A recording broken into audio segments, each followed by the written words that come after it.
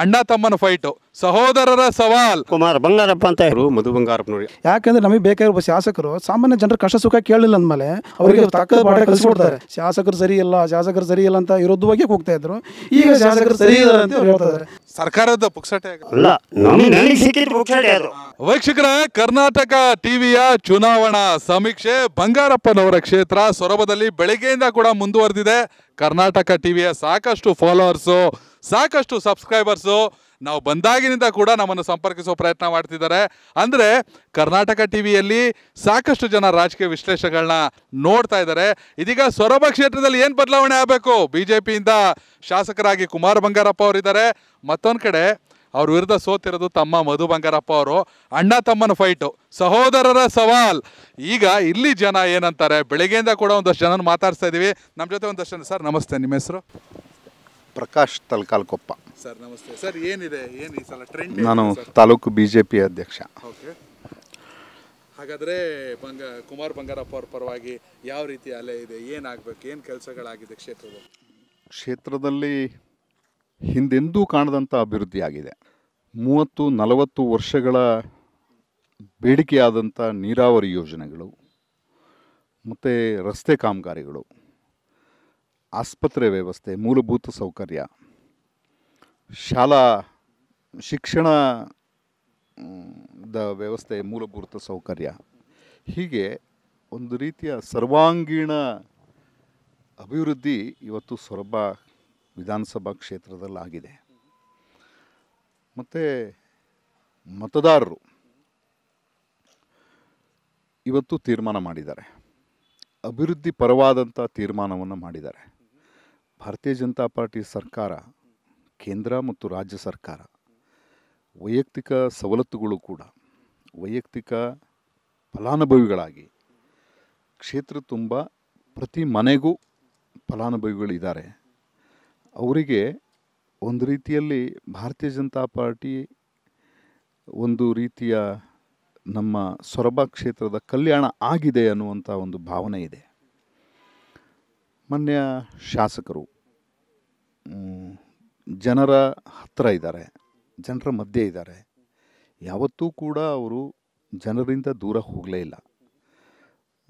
ಚುನಾಯಿತರಾದ ಮೇಲೆ ಶಾಸಕರಾಗಿ, ಭಾರತೀಯ ಜನತಾ ಪಾರ್ಟಿಯ ಶಾಸಕರಾಗಿ ಚುನಾಯಿತರಾದ ಮೇಲೆ ಇವತ್ತಿನವರೆಗೂ ಪ್ರತಿ ಗ್ರಾಮದಲ್ಲಿ ಇವತ್ತು ಅವರ ಒಂದು ಅಭಿಮಾನಿಗಳು, ಪಕ್ಷದ ಅಭಿಮಾನಿಗಳು ಮತ್ತು ಪ್ರತಿ ಗ್ರಾಮಕ್ಕೂ ನೂರ ಮೂವತ್ತು ನೂರ ಮುನ್ನೂರ ಎಂಬತ್ತೇಳು ಹಳ್ಳಿಗಳು ಬರುತ್ತೆ ಗ್ರಾಮಗಳು ಬರುತ್ತೆ. ಆ ಮುನ್ನೂರ ಎಂಬತ್ತೇಳು ಹಳ್ಳಿಗಳಲ್ಲೂ ಕೂಡ ಒಂದಲ್ಲ ಒಂದು ರೀತಿಯ ಅಭಿವೃದ್ಧಿ ಇವತ್ತು ಆಗಿದೆ. ಮತ್ತಷ್ಟು ಮತದಾರರಿದ್ದಾರೆ ಅವ್ರನ್ನ ಮಾತಾಡಿಸುವಂಥ ಕೆಲಸವನ್ನ ಮಾಡೋಣ. ಸರ್ ನಮಸ್ತೆ ನಿಮ್ಮ ಹೆಸರು? ನನ್ನ ಹೆಸರು ಫಯಾಜ್ ಅಹಮದ್ ಅಂತೇಳಿ. ಏನಿದೆ ಸೊರಬದಲ್ಲಿ ಚುನಾವಣೆ ಟ್ರೆಂಡ್ ಹೇಗಿದೆ ಏನಕ್ಕೆ ಈ ಸಾರಿ ನೂರಕ್ಕೆ ನೂರು ಮಧು ಬಂಗಾರಪ್ಪನವರು ಪ್ರಚಂಡ ಬಹುಮತದಿಂದ ಆಯ್ಕೆಯಾಗಿ ಬರ್ತಾರೆ. ಕಳೆದ ಕಳೆದ ಸಾರಿ ನಮ್ಮದೇ ತಪ್ಪಿನಿಂದ ನಾವು ಸೋತಿದ್ದೀವಿ. ಏನು ಮಿಸ್ಟೇಕ್ ಆಗಿತ್ತು ಸರ್ ಲಾಸ್ಟ್ ಹೋದ ಸಾರಿ ಯಡಿಯೂರಪ್ಪನವರು ಮುಖ್ಯಮಂತ್ರಿ ಆಗ್ತಾರೆ. ಜಾತ್ಯತೀತವಾಗಿ ಪಕ್ಷಾತೀತವಾಗಿ ಕುಮಾರ ಮುಂಗಾರಪ್ಪನವರಿಗೆ ಗೆಲ್ಲಿಸಿದ್ವಿ ಎಲ್ಲರೂ ಓಟ್ ಕೊಟ್ಟಿದ್ದರು ಮುಖ್ಯಮಂತ್ರಿ ಯಡಿಯೂರಪ್ಪನವ್ರು ಆಗ್ತಾರೆ ಅಂತೇಳಿ ಒಂದೇ ಒಂದು ವಿಷಯಕ್ಕಾಗಿ ಹಾಕಿ- ಮಧು ಬಂಗಾರಪ್ಪನವರು ಸೋತಿದ್ದರು ಸೋತಿದ್ರು. ಈ ಸಾರಿ ನೂರಕ್ಕೆ ನೂರು ಮಧು ಬಂಗಾರಪ್ಪನವ್ರಿಗೆ ಆಯ್ಕೆ ಆಗ್ತಾರೆ. ಅದಕ್ಕೆ ಏನಪ್ಪ ಕಾರಣ ಅಂತ ಹೇಳಿದರೆ ಈ ತಾಲೂಕಿನಲ್ಲಿ ಹೆಚ್ಚು ಕಡಿಮೆ ರೈತರಿಗೆ ಎಂಟು ಸಾವಿರ ಹಕ್ಕುಪತ್ರವನ್ನು ಕೊಟ್ಟಿದ್ದಾರೆ. ಮತ್ತಷ್ಟು ಜನ ಇದ್ದಾರೆ ನಮ್ಮ ಜೊತೆ. ಸರ್ ನಮಸ್ತೆ ನಿಮ್ಮ ಹೆಸರು? ಆರ್ ಮನ್ವೆಲೆ ಅಂತೇಳಿ ಅಂಬೇಡ್ಕರ್ ಬಡಾವಣೆಯಿಂದ ಮಾಜಿ ಅಧ್ಯಕ್ಷರು ಪಟ್ಟಣ ಪಂಚಾಯತ್ಗೆ. ಮ್- ನಮಗೆ ಬೇಕಾಗಿದ್ದ ಟೌನ್ ಒಳಗೆ ಮೂಲ ಸೌ ಸೌಕರ್ಯ. ಮೂಲ ಸೌಕರ್ಯಪ್ಪ ಏನಂದರೆ ಕುಡಿಯೋ ನೀರು.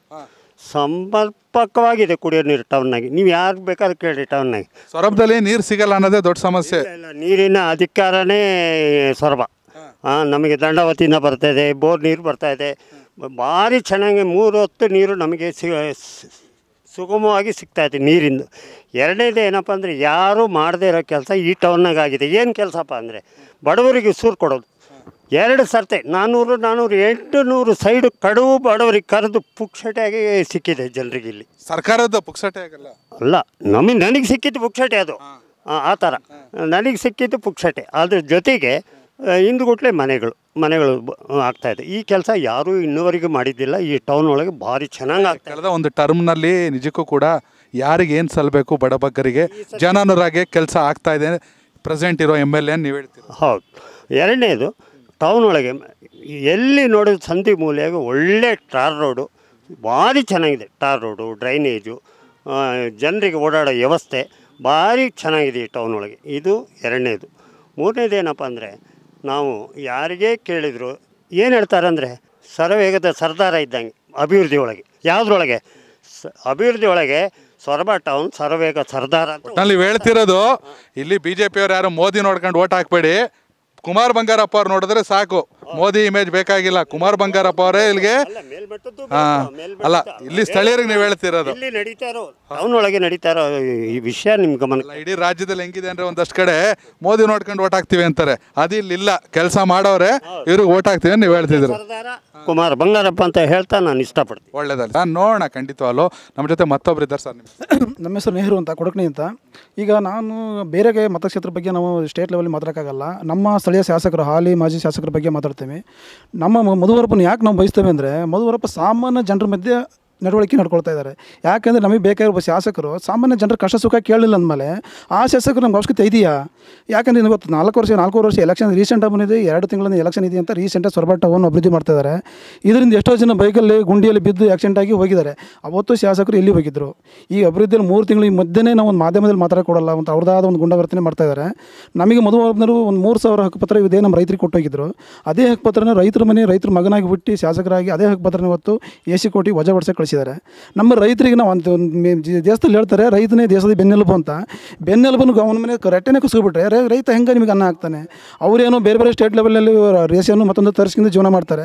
ಒಬ್ಬ ಸಾಮಾನ್ಯ ರೈತನ ಕತೆ ಏನಾಗಬೇಕು ಇಲ್ಲಿ ನಾವು ಯಾವಲ್ಲಿ ನಾವು ಯಾವ ಕಡೆಯಿಂದ ಅಕ್ಕಿ ತರಿಸೋಣ? ಆ ಹತ್ತು ಕೆ ಜಿ ಏಳು ಕೆ ಜಿ ಅಕ್ಕಿ ಕೊಡ್ತಾರೆ, ಅದರಲ್ಲಿ ನಾವು ಹತ್ತು ಜನ ಕುಟುಂಬ ಮಕ್ಕಳು ಇರ್ತವೆ. ಇನ್ನು ಮೂರು ಮೂರು ವರ್ಷದ ಮಕ್ಕಳಿಗೆ ನಮ್ಮ ರೇಷನ್ ಕಾರ್ಡ್ ಆಗಿರಲ್ಲ, ಮತ್ತೊಂದು ತಿದ್ದುಪಡಿ ಆಗಿರಲ್ಲ, ನಾವು ಉಳಿದ ಮಕ್ಕಳಿಗೆ ಉಪವಾಸ ಮಲಗಿಸ್ಬೇಕು ಅಥವಾ ನಾವು ಉಪವಾಸ ಮಲಗಿಸಿ ಆ ಮಕ್ಕಳಿಗೆ ಹಾಕಬೇಕು. ಇವರು ನಮ್ಮ ರೈತರಿಗೆ ನೀವು ನೀವು ಇವತ್ತು ಒಂದು ರಸ್ತೆ ಅಭಿವೃದ್ಧಿ ಮಾಡಿದ್ದೀವಿ ಯಾವುದೋ ಒಬ್ಬ ದೇಶದ ಒಬ್ಬ ಮೇನು ಪ್ರಧಾನಮಂತ್ರಿ ನಾಯಕರ ಹೆಸರು ಹೇಳಿಕೊಂಡು ಓಟ್ ಕೇಳಕ್ಕೆ ಬರ್ತಾರೆ. ಸ್ಥಳೀಯ ಶಾಸಕರು ಏನು ಅಭಿವೃದ್ಧಿ ಮಾಡಿದ್ದಾರೆ? ಅದು ಬೇಕಲ್ಲ. ನಮಗೆ ಯಾವ ಥರದ ಅಭಿವೃದ್ಧಿ ಮಾಡಿದ್ದಾರೆ? ನಮ್ಮದು ಹಕ್ಕುಪತ್ರ ಕೊಟ್ಟಂಥ ಜೀವನ ರೈತನ್ನೇ ಕಸ್ಕೊಂಡಾಗ, ಓಟ್ ಕೇಳಕ್ಕೆ ಮತದಾರರು ಹಳ್ಳಿ ಒಳಗೆ ಬಂದಾಗ ಅವರಿಗೆ ತಕ್ಕ ಪಾಠ ಕಲಿಸ್ಕೊಡ್ತಾರೆ ನಮ್ಮ ಶಾಸಕರು ಇವತ್ತು ಇದೇ ನಮ್ಮ ಕೊಡಗಣಿ ಗ್ರಾಮದಲ್ಲಿ ನಮ್ಮ ರಮ, ನಮ್ಮ ರಸ್ತೆಯಲ್ಲಿ ಇವತ್ತು ಶಾಸಕರು ಹತ್ತು ವರ್ಷ ಆಗಿದೆ ರಸ್ತೆ. ಇದೇ ಶಾಸಕರು ಕೊಟ್ಟು ಎರಡು ವರ್ಷ ಆಗಿದೆ. ಆ ರಸ್ತೆನ ಆ ರಸ್ತೆನ ಬಂದು ನೀವು ಮಾಧ್ಯಮದ ಟ್ಯಾಲಿ ಮಾಡಿ. ಎಷ್ಟು ಕ್ವಾಲಿಟಿ ಒಳಗೆ ರಸ್ತೆ ಮಾಡಿದಾರಂತ? ನಮ್ಮ ಗಮ ನಮ್ಮ ರಸ್ತೆಯಲ್ಲಿ ರೀಸೆಂಟಾಗಿ ಮಾಡಿದಾರಂತ ನೀವು ಹೇಳ್ತೀರಾ? ಅದು ಮಾಡಿದ್ದು, ಇವತ್ತು ಗುಂಡೆ ಬಿದ್ದು ಬಾಕ್ಸ್ ಸಿರೆಂಟಿ ಗಿರೆಂಟೆಲ್ಲ ಇಸ್ಕು ಬಿದ್ದು ಹೋಗಿದ್ದಾವೆ ಪರ್ಸೆಂಟ್ ಅಂದರೆ, ಇವರು ತಗತಕ್ಕಂಥ ಪರ್ಸೆಂಟೇಜನ್ನು ಜಾಸ್ತಿ ತಗೊಂಡಾಗ ಕಂಟ್ರಾಕ್ಟ್ ಏನು ಕೆಲಸ ಮಾಡ್ತಿದ್ದಾನೆ. ಜನರಿಗೆ ಇವತ್ತು ಗಂಗಾಕಲ್ಯಾಣ ಬೋರು ರೈತರಿಗೆ ಕೊಡ್ಬೇಕಂತ ಸ್ಕೀಮ್ ತಂದಿರೋದು. ಅದು ಯಾವುದು ಕಾಂಗ್ರೆಸ್ ಸರ್ಕಾರ. ಅಂತ ಸರ್ಕಾರ ಆ ಸ್ಕೀಮನ್ನು ಇವ್ರು ಬಂದ್ ಮಾಡ್ತಾ ಹೋಗ್ತಿದ್ದಾರೆ ಇವ್ರು ಏನಿದ್ರು ಡೌಸ್ ಟೌನ್ ಡೆವಲಪ್ಮೆಂಟ್ ಅಭಿವೃದ್ಧಿ ಮಾಡ್ತಾ ಹೋಗ, ಹೋಗ್ಬಿಟ್ರೆ ಯಾರು ದೊಡ್ಡ ದೊಡ್ಡ ಉದ್ಯಮಿಗಳು ರಿಯಲ್ ಎಸ್ಟೇಟು ಕಂಟ್ರಾಕ್ಟು ಅಂತಂತ ಉದ್ಧಾರ ಮಾಡೋದು ಬಿಟ್ಟರೆ ಸಾಮಾನ್ಯ ಮತದಾರ ಕ್ಷೇತ್ರದಲ್ಲಿ ಸಾಮಾನ್ಯ ಜನರ ಕಷ್ಟ ಸುಖನ ಕೇಳಲ್ಲ. ಸಾಮಾನ್ಯ ಜನರಿಗೆ ಯಾವುದೇ ಥರದ ಒಂದು ಸೌಲಭ್ಯ ತಲುಪಲ್ಲ. ಇದೇ ಇವತ್ತು ಬಿ ಜೆ ಪಿ ಹೇಳ್ತಿದ್ದಾರೆ ನಾವು ಎಲ್ಲ ಸರಿ ಇದೀವಿ ಅಂತ. ಇವರಲ್ಲಿ ಯಾಕೆ ಎರಡು ಭಾಗ ಬಂತು? ಇವರಲ್ಲಿ ಪಿ ಪಕ್ಷದಲ್ಲಿ ಎರಡು ಭಾಗ ಆಗಿದೆ. ನಾವು ಕುಮಾರಪ್ಪ ಇರೋದ ಇರೋದ ಅಂತ ಇಲ್ಲಿ ತಗ ಕೂಗಿದ್ದಾರೆ. ಈಗೇನು ಬಾಯಿ ಮುಚ್ಚಿ ಕುಂತಾರೆ ಎಲೆಕ್ಷನ್ ಚುನಾವಣೆ ಹತ್ರ ಬಂದಿದೆ, ನಮಗೇನೋ ಬರ್ಬೋದು ಸೂಟಿಗೆಸಲ್ಲಿ ಬರ್ಬೋದು ಅನ್ನೋ ಬಾಯಿಗೆ ಕುಂತಾರೋ? ಅಥವಾ ಇವ್ರಿಗೆ ಹೋಗಿ ಹೋಗಿದೆಯಾ ಅಂತ ಕುಂತಾರೆ ಗೊತ್ತಿಲ್ಲ. ಇಲ್ಲಿವರೆಗೂ ಐದು ವರ್ಷದ ಚುನಾವಣೆ ಆಗಿ ಮಾರದಿಸಿಂದ ಬಿ ಜೆ ಪಿಯಲ್ಲಿ ಎರಡು ಬಣ ಆಗಿ ಬೆಳ್ಬಿಟ್ಟು ಕೆಲಸ ಮಾಡ್ತಾಯಿತ್ತು ಯಾಕೆ ಕೆಲಸ ಮಾಡ್ತಾಯಿತ್ತು ಶಾಸಕರ ಬಗ್ಗೆ? ಶಾಸಕರು ಸರಿ ಇಲ್ಲ, ಶಾಸಕರು ಸರಿ ಇಲ್ಲ ಅಂತ ವಿರುದ್ಧವಾಗಿ ಬಗ್ಗೆ ಕೂಗ್ತಾಯಿದ್ರು ಈಗ ಶಾಸಕರು ಸರಿ ಇದ್ದಾರೆ ಅಂತ ಅವ್ರು ಹೇಳ್ತಾ ಇದ್ದಾರೆ ಅಂದರೆ ಇವರು ವೀಕ್ಷಕರೇ ಬಿ ಜೆ ಪಿಯಲ್ಲಿ ಕೂಡ ಬಣ ಬಡಿದಾಟ ಇದೆ. ಅದು ಕಾಂಗ್ರೆಸ್ಗೆ ಪ್ಲಸ್ ಆಗ್ಬೋದು ಅನ್ನೋದು ಒಂದಷ್ಟು ಜನರ ಅಭಿಪ್ರಾಯ. ಸರ್, ನಿಮ್ಮ ಹೆಸರು? ಟ್ರೆಂಡ್ ಈಗೆಲ್ಲ ಏರ್ತಾ ಇದೆ. ಇಲ್ಲಿವರೆಗೂ ತಾಲೂಕಿನ ಎಂ ಎಲ್ ಎಗಳು ಹಿಂದಿರೋರು ಹೆಂಗೆ ಮಾಡಿದ್ರು ಕೆಲಸಗಳನ್ನು ಅಂತ ಯೋಚನೆ ಮಾಡಿ. ಹಿಂದಿರೋ ಎಂ ಎಲ್ ಎಗಳನ್ನು ಪರಿಗಣನೆ ತಗೊಂಡು ಈಗಿರೋ ಇವರು ಹಾಲಿ ಈಗಿದ್ದವ್ರು ಏನು ಮಾಡಿದ್ದಾರೆ ಅನ್ನೋದನ್ನು ಪರಿಗಣನೆ ತಗೊಳ್ತಾ ಇದ್ದಾರೆ. ಹಿಂದಿನ ಚುನಾವಣೆ ಎಂ ಎಲ್ ಎ ಆಧಾರಕ್ಕಿಂತ ಉತ್ತಮ ಸ್ಟೇಜ್ನಲ್ಲಿ ಸರ್ಕಾರದ ಅನುದಾನ ಜಾಸ್ತಿ ತಂದಿದ್ದಾರೆ ಇಲ್ಲಿಗೆ. ಹೆಚ್ಚು ಕೆಲಸಗಳು ಇನ್ನೂ ಆಗೋವಿದ್ದಾವೆ ಈಗ ಆಗ್ತಾ ಇದ್ದಾವೆ ಹಾಲಿ ಚಾಲ್ತಿಯಲ್ಲಿ ನಡೀತಾ ಇದ್ದಾವೆ ಇನ್ನು ಮುಂದೂ ಆಗೋವಿದ್ದಾವೆ ಅದರಿಂದ ಜನರ ಮನದ, ಮನಸ್ಸಿನಲ್ಲಿ ಕುಮಾರ್ ಬಂಗಾರಪ್ಪನವ್ರು ಮತ್ತೆ ಆಯ್ಕೆ ಮಾಡಬೇಕು ಅನ್ನೋ ಒಂದು ಹುಮ್ಮಸ್ಸು ಜಾಸ್ತಿ ಇದೆ. ಒಂದಷ್ಟು ಕಾಂಪಿಟೇಷನ್ ಕುಮಾರ್ ಬಂಗಾರಪ್ಪ ಅವ್ರಿಗೆ ಅನ್ನೋ ಮಾತುಗಳು ಬೆಂಗಳೂರು ಮಟ್ಟದಲ್ಲಿ. ನೀವು ಇಲ್ಲಿಯವ್ರು ಅದಕ್ಕೆ ಕ್ಲಾರಿಟಿ ಕೊಡಬೇಕು. ಇಲ್ಲ, ಕುಮಾರ್ ಬಂಗಾರಪ್ಪ ಅವ್ರಿಗೆ ಟಿಕೆಟ್ ಸಿಗದೇ ಇರಬಹುದು, ಜ್ಞಾನೇಶ್ ಅವ್ರ ಹೆಸರು ಕೇಳಿ ಬರ್ತಿದೆ ಈ ರೀತಿ ಚರ್ಚೆ ಆಗ್ತಾ ಇದೆ. ಜ ಅಂದರೆ ಬಿ ಜೆ ಪಿ ವಲಯದಲ್ಲಿ. ಇದ್ರ ಬಗ್ಗೆ ನೀವೇನು ಹೇಳಕ್ಕೆ ಅದು ಕಾಂಪಿಟೇಷನ್ ಇದೆ ಸರ್ ಅದು ಅವ್ರ ಮಟ್ಟದಲ್ಲಿ ಇರ್ತದೆ. ನಮಗೆ ಕಾರ್ಯಕರ್ತರು ಮತ್ತು ಮತದಾರರ ಮಟ್ಟದಲ್ಲಿ ನಮಗೆ ಅದು ಸಂಬಂಧ ಇಲ್ಲ. ಅಂದರೆ ವ್ಯಕ್ತಿಗಿಂತ ಪಕ್ಷ ಮುಖ್ಯ ಅನ್ನೋ ರೀತಿಯಲ್ಲಿ? ಪಕ್ಷದ ಪಕ್ಷದ ಸಿದ್ಧಾಂತದಲ್ಲಿ ಇಲ್ಲಿ ನಾವು ಕೆಲಸ ಮಾಡ್ತಾ ಇದ್ದಾರೆ ನಮ್ಮ ಸ ಎಂ ಎಲ್ ಎ ಸಾಹೇಬರು. ಅವರೇ ಮುಂದೆ ಎಂ ಎಲ್ ಎರಾಗಿ ಇಲ್ಲಿ ಫೈಟ್ ಮಾಡ್ತಾರೆ ಅನ್ನೋದು ಒಂದು ಇದೆ ಸರ್. ಖಂಡಿತ ಖಂಡಿತ. ನಿಮ್ಮ ಹೆಸರು ಸರ್? ಸರ್ ನನ್ನ ಹೆಸರು ಯುವರಾಜ್ ಅಂತ. ಕೊಡಕಣಿ ಊರು. ಕೊಡಕಣಿಯ ನೂರ ಅರವತ್ತೊಂದರ ಬೂತ್ ಅಧ್ಯಕ್ಷರಾಗಿ ನಾವು ಅಲ್ಲಿ ಕಾರ್ಯನಿರ್ವಹಿಸ್ತಾ ಇದ್ದೇವೆ. ಸೊ ಸ, ತಾಲೂಕಲ್ಲಿ ಇವತ್ತು ನಾವು ಕಂಡಂಥ ಅಭಿವೃದ್ಧಿ ಇರ್ಬೋದು. ಆಮೇಲೆ ಇಲ್ಲಿಯ ಶಾಸಕರ ಕಾರ್ಯ ಚಟುವಟಿಕೆ ಇರ್ಬೋದು. ನಾವೆಲ್ಲ ನೋಡಿದ್ದೀವಿ ಈಗಾಗಲೇ ನಾಲ್ಕೂವರೆ ವರ್ಷ ಆಗಿದೆ. ತಥಾ ಹಿಂದೆಕ್ಕೆ ಹೋದರೆ ನಾವು ಕಂಡಂಥ ಸ್ವರ್ಭ ಹೇಗಿತ್ತು ಅಂದರೆ ತುಂಬ ಮಾಸ್ ಹೋದಂಗೆ ಆಗಿತ್ತು. ಇವಾಗ ಅದಕ್ಕೆ ಬೆಳಕು ಬಂದಿದೆ, ಜೀವ ಬಂದಿದೆ. ಆ ಜೀವನ ಕೊಟ್ಟಿರ್ತಕ್ಕಂಥವ್ರು ಕುಮಾರ್ ಬಂಗಾರಪ್ಪ ಅಂತ ಹೇಳಲಿಕ್ಕೆ ಇಷ್ಟಪಡ್ತೀವಿ. ಹಾಗಾಗಿ ಇನ್ನೂ ಮುಂದೆ ಭಾಳಷ್ಟು ನಮ್ಮವ್ರು ಹೇಳಿದ ಹಾಗೆ ಕೆಲಸ ಕಾರ್ಯಗಳು ಭಾಳ ಆಗಬೇಕು. ಎಲ್ಲವೂ ಶಂಕುಸ್ಥಾಪನೆಗಳನ್ನು, ಗುದ್ಲಿ ಪೂಜೆಗಳನ್ನು ಮಾಡ್ತಾ ಮಾಡ್ತಾ ಎಂ ಎಲ್ ಎರ್ ಕೂಡ ಈಗಾಗಲೇ ತುಂಬ ಸರವೇಗದವಾಗಿ ಓಡ್ತಾ ಇದ್ದಾರೆ. ನೆಕ್ಸ್ಟು ಕೂಡ ನಮಗೆ ಈ ತಾಲೂಕಲ್ಲಿ ಬಿ ಜೆ ಪಿ ಬರುತ್ತೆ. ನಮ್ಮ ಕುಮಾರ್ ಬಂಗಾರಪ್ಪರ ಈ ತಾಲೂಕಿನಾಗೆ ಶಾಸಕರಾಗಿ, ಎಂ ಎಲ್ ಎರಾಗಿ ಜಯಗಳಿಸ್ತಾರೆ ಅಂತಕ್ಕಂಥ ಮಾತನ್ನು ನಾನು ಹೇಳೋಕ್ಕೆ thank you thank you sir